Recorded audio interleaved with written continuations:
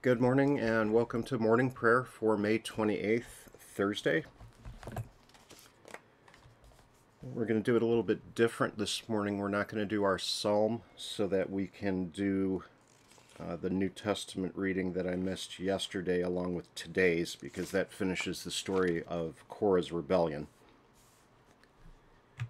And then we will have a writing on, what is this?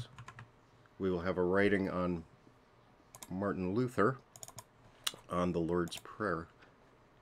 And I forgot to change everything. Just a second. This will take just a minute.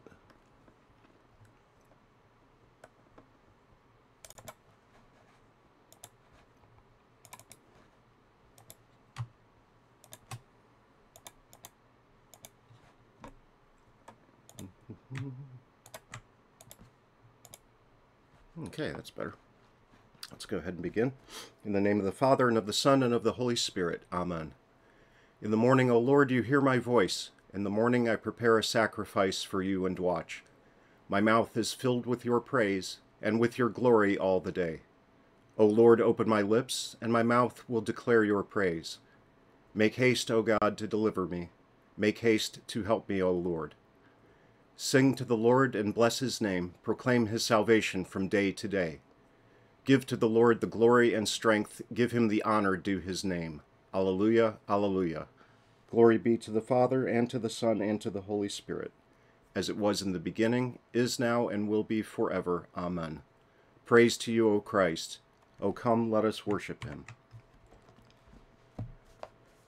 Our Bible reading today is from the book of Numbers, chapters 16 and 17. And the Lord spoke to Moses, saying, Say to the congregation, Get away from the dwelling of Korah, Dathan, and Ab- Abiram. Then Moses rose and went to Dathan and Abiram, and the elders of Israel followed him. And he spoke to the congregation, saying, Depart, please, from the tents of these wicked men, and touch nothing of theirs, lest you be swept away with all their sins.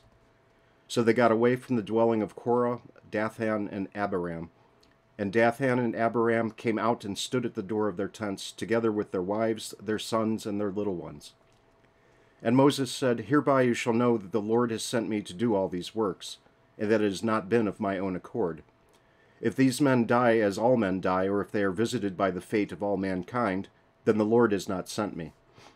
But if the Lord creates something new, and the ground opens its mouth and swallows them up with all that belongs to them, and they go down alive into Sheol, then you shall know that these men have despised the Lord. And as soon as he had finished speaking all these words, the ground under them split apart, and the earth opened its mouth and swallowed them up, with their households, and all the people who belonged to Korah and all their goods. So they and all that belonged to them went down alive into Sheol, and the earth closed over them and they perished from the midst of the assembly. And all Israel who were around them fled at their cry, for they said, Lest the earth swallow us up. And fire came out from the Lord and consumed the two hundred and fifty men offering the incense. Then the Lord spoke to Moses, saying, Tell Eleazar the son of Aaron the priest to take up the censers out of the blaze. Then scatter the fire far and wide, for they have become holy. As for the censers of these men who have sinned at the cost of their lives, let them be made into hammered plates as a covering for the altar, for they offered them before the Lord, and they became holy. Thus they shall be assigned to the people of Israel. So Eleazar the priest took the bronze censers which those who were burned had offered, and they were hammered out as a covering for the altar, to be a reminder to the people of Israel, so that no outsider, who is not of the descendants of Aaron, should draw near to burn incense before the Lord, lest he become like Korah and his company, as the Lord said to him through Moses. But on the next day, all the congregation of the people of Israel grumbled against Moses and against Aaron, saying, You have killed the people of the Lord. And when the congregation had assembled against Moses and against Aaron, they turned toward the tent of meeting. And behold, the cloud covered it, and the glory of the Lord appeared. And Moses and Aaron came to the front of the tent of meeting, and the Lord spoke to Moses, saying, Get away from the midst of this congregation, that I may consume them in a moment. And they fell on their faces. And Moses said to Aaron, Take your censer and put fire on it from off the altar, and lay incense on it and carry it quickly to the congregation and make atonement for them. for wrath has gone out from the Lord, the plague has begun. So Aaron took it as Moses, as Moses said, and ran into the midst of the assembly. And behold, the plague had already begun among the people, and he put on the incense and made atonement for the people. And he stood between the dead and the living, and the plague was stopped. Now those who died in the plague were fourteen thousand seven hundred, besides those who died in the affair of Korah. And Aaron returned to Moses at the entrance of the tent of meeting, when the plague was stopped.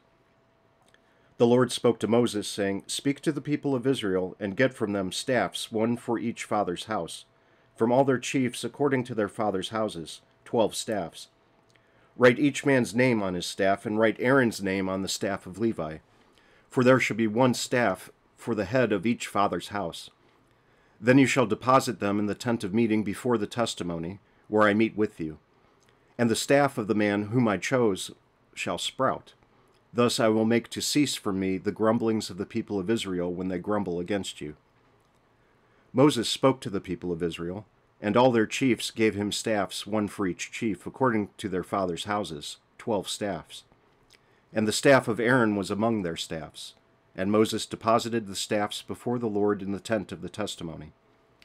On the next day Moses went into the tent of the testimony, and behold, the staff of Aaron for the house of Levi had sprouted and put forth buds, and produced blossoms, and it bore ripe almonds. Then Moses brought out all the staffs from before the Lord to all the people of Israel. And they looked, and each man took his staff. And the Lord said to Moses, Put the staff of Aaron before the testimony, to be kept as a sign for the rebels, that you may make an end of their grumblings against me, lest they die. Thus did Moses, as the Lord commanded him, so he did. And the people of Israel said to Moses, Behold, we perish, we are undone, we are all undone. Everyone who comes near, who comes near to the tabernacle of the Lord, shall die. Are we all to perish? And the narrative will continue tomorrow at the beginning of Numbers chapter 20.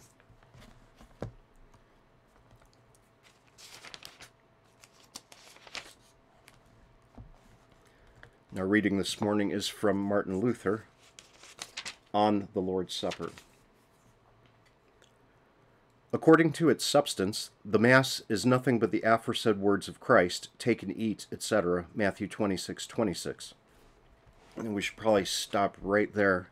Uh, if you read the Confessions, you will see very often uh, that Luther and the confessors will refer to the divine service with the Lord's Supper as the Mass, uh, just like the Roman Catholic Church still refers to it today. Uh, there's nothing wrong with calling it that. In fact, when uh, the church accused the Lutherans of of not holding the mass, of not doing things as they had done, uh, the confessions literally say we do not abolish the mass. So calling it the mass is is not a problem. Uh, there, that's no bad word. Uh, it's no magic word either. It's simply a word that that talks about a divine service where God gives us the gifts in the body and blood of Christ. And it was as if he were saying, Behold, O sinful and condemned man, out of the pure and unmerited love which I, with which I love you, and by the will of the Father of mercies, 2 Corinthians 1 3. Apart from any merit or desire of yours, I promise you in these words the forgiveness of all your sins and life everlasting and that you may be absolutely certain of this irrevocable promise of mine, I shall give my body and pour out my blood, confirming this promise by my very death, and leaving you my body and blood as a sign and memorial of the same promise.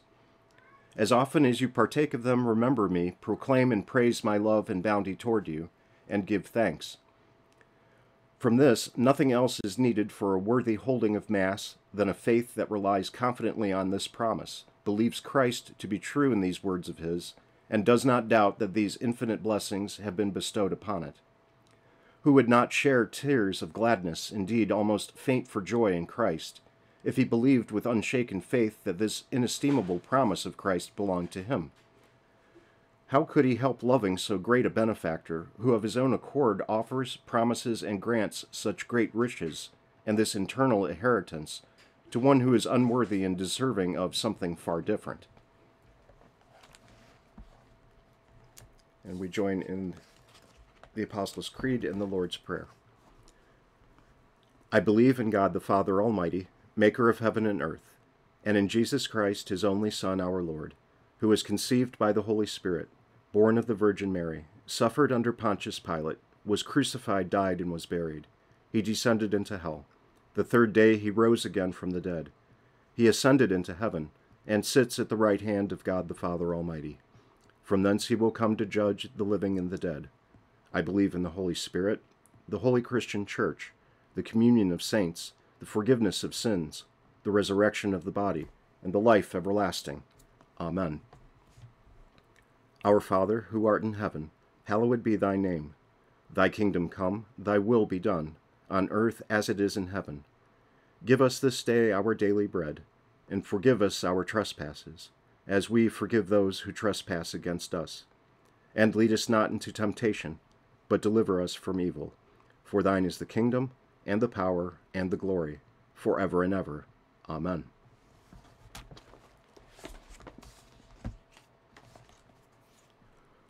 O Lord Jesus Christ, true King of heaven and earth, you promised to your church that the gates of hell would not prevail against her, and you still cause your word to be preached and your holy sacraments to be administered among us.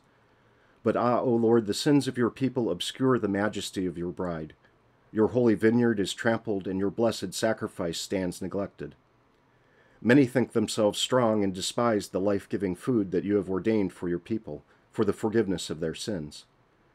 Pardon all our arrogance, and do not come to us in wrath to remove the lamp of your word from before our eyes.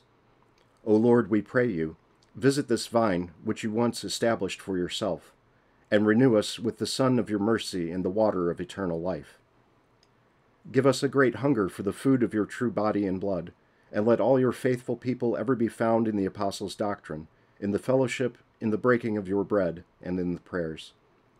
We implore you, O Lord, for our altar, that it may ever be a place where the medicine of eternal life, the forgiveness of our sins, strengthens us in body and soul, that disbelief and impenitence may stay far from all who come there, so that they may not eat and drink to their own judgment.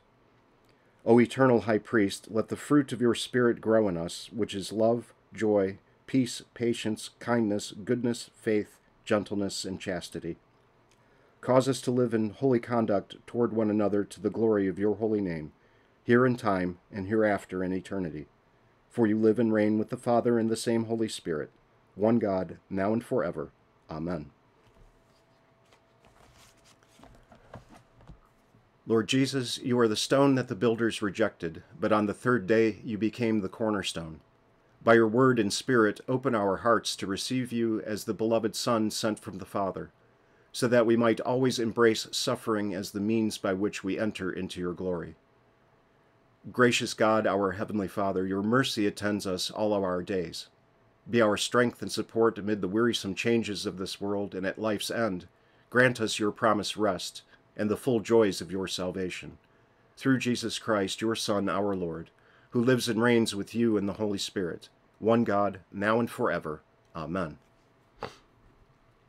I thank you, my heavenly Father, through Jesus Christ, your dear Son, that you have graciously kept me this night, and I pray that you would keep me this day also from sin and every evil, that all my doings in life may please you.